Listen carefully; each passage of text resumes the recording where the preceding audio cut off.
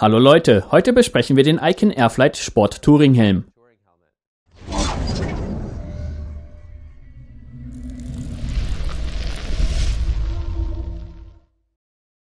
Wenn ihr einen preisgünstigen Helm sucht, der euch eine Menge Vielseitigkeit bietet, dann braucht ihr nicht weiter zu schauen als bis zum Icon Airflight Sport Touring Helm. Dieser Helm ist DOT und ECE 2205 zertifiziert, um ihm eine noch größere Reichweite zu geben. Trotzdem hat der Helm nur drei Sterne beim Sharp Helm Sicherheitsbewertungssystem erhalten, ist etwas schwach bei Stirn und bei Seitenaufprall. Es gibt sicherlich sicherere Helme da draußen. Wenn ihr neugierig über die Mitstreiter dieses Helmes seid, dann würden dies der AGV K1 und K3 SV sein. Und der K3 wurde sogar einen Stern sicherer bewertet als der Airflight.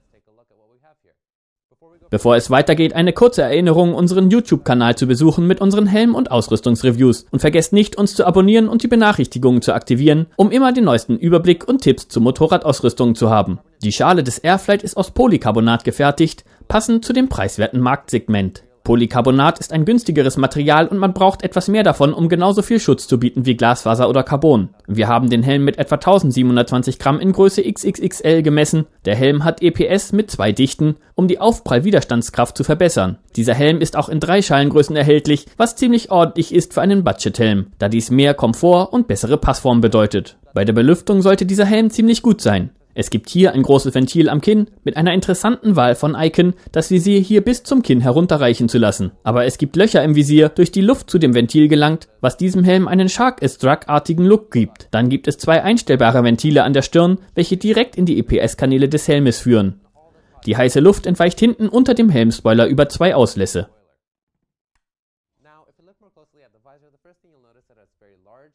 Wenn wir uns das Visier näher anschauen, fällt uns, es ist Icons Flight Shield Visier und das heißt, dass es nur Antibeschlag behandelt ist, es aber keine Pinlock gibt. Man kann aber ein Pinlock-fähiges Visier und die Pinlock separat kaufen.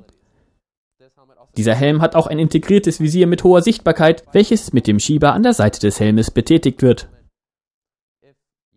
Wenn ihr ein dunkles Rauchvisier bevorzugt, könnt ihr dieses separat kaufen und selbst einbauen. Um das Visier zu entfernen, müsst ihr die Seitenpaneele zusammendrücken und herausziehen aus der Verankerung auf beiden Seiten und dann einfach das Visier zurückziehen, bis es sich vom Helm abheben lässt. Wenn die Punkte übereinander liegen, sollte es sich einfach lösen. Um es wieder einzusetzen, muss man es nur erneut ausrichten, stellt sicher, dass es in der Führung liegt und es sollte einrasten.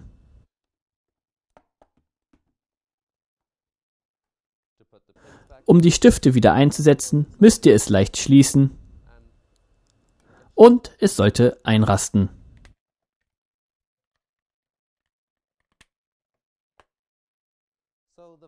Das ist wirklich ganz einfach und auch wenn es einige lose Teile gibt, sind es weniger Schritte als bei Arais Seitenpanelsystem.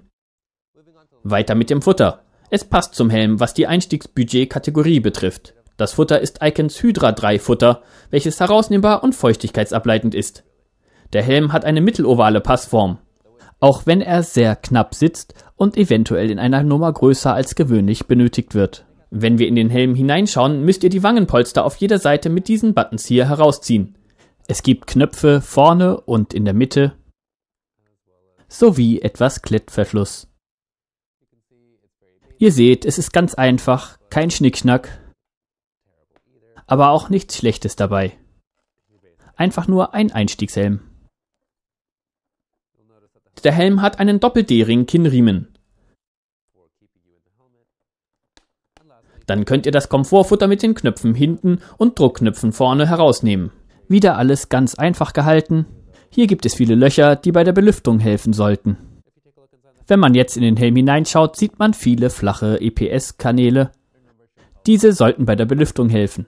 Ihr seht auch die Auskerbungen an den Seiten für das Icon Rau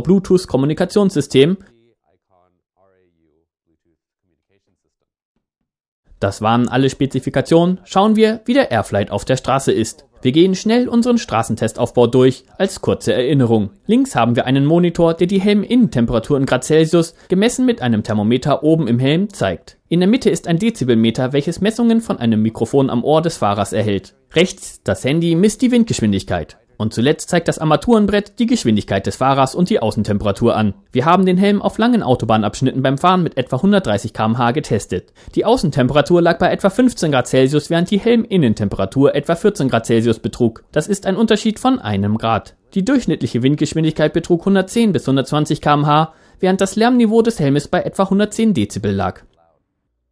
Unser Fahrer fand den Helm passabel, was den Komfort angeht, ohne Auffälligkeiten, eher sehr einfach. Er fand auch die Belüftung ausreichend, auch wenn nicht so stark, wie wir gehofft hatten. Vergeben wir ein paar Sterne. Für das Material, da die Schale aus Polycarbonat ist und in drei Schalengrößen erhältlich, gibt es respektable drei Sterne. Beim Gewicht lag der Helm auch über dem Durchschnitt und verdient weitere drei Sterne. Da das Visier aber nicht für Pinlock gedacht ist und separat gekauft werden muss, gibt es zwei Sterne. Die Lärmdämmung dieses Helmes war schlecht, da wir laute 110 Dezibel gemessen haben, dafür erhält der Helm ein Stern. Trotzdem war die Belüftung ziemlich gut mit 2 Grad Unterschied, das gibt weitere 2 Sterne. Zuletzt war der Airflight beim Komfort sehr spartanisch und bietet nur das Mindeste, sodass der Komfort leidet und 2,5 Sterne ergibt. Das bringt uns insgesamt auf 2 Sterne mit einem empfohlenen Verkaufspreis von etwa 250 Euro oder 280 US-Dollar, was für den Airflight 18,5 Euro je Stern bedeutet, was eine ganze Menge ist für eher einen Einstiegshelm. Wenn ihr den Icon Airflight kaufen wollt, kommt auf championhelmets.com, wo wir eine Niedrigpreisgarantie und Bundleangebote anbieten.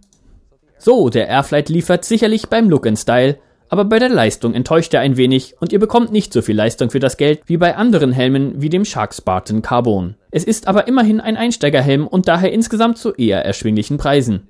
Die Belüftung war immerhin ziemlich gut, was schön zu sehen ist. Aber bei der Leistung fällt er gegenüber anderen Helmen in der gleichen Preisregion zurück wie dem AGVK 3 SV, welcher drei Sterne bei 12 Euro je Stern bekommen hatte. Es gibt andere Helme in dieser Preisregion, also gibt es hier noch Verbesserungsmöglichkeit. Wenn euch das Video gefallen hat, lasst es uns unten in den Kommentaren wissen und abonniert uns. Ich bin Sebastian von Champion Helmets. Bis bald.